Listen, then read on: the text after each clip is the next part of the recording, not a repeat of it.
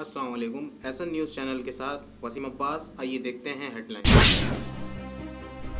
Dubai में खेले जाने वाले पी एस एल फोर के दूसरे मैच में कराची किंग्स के कप्तान अम्माद वसीम ने बैटिंग का फैसला किया। कराची किंग्स के ओपनर्स लियाम लियूंग और बाबर आज़म ने एक सौ सत्तावन रन की पार्टनरशिप की और कराची किंग्स ने मुल्तान सुल्तान को एक सौ तिरासी रन का हदफ किया।